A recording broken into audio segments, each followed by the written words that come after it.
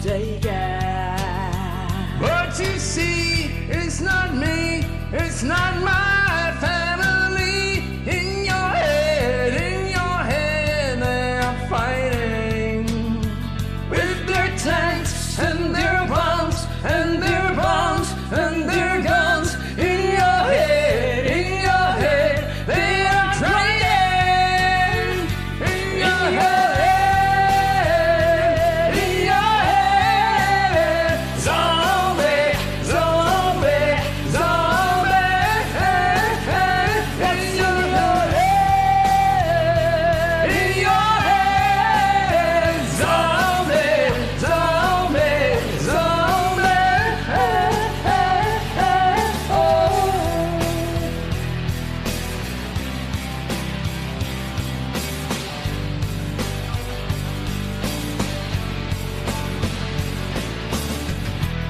remember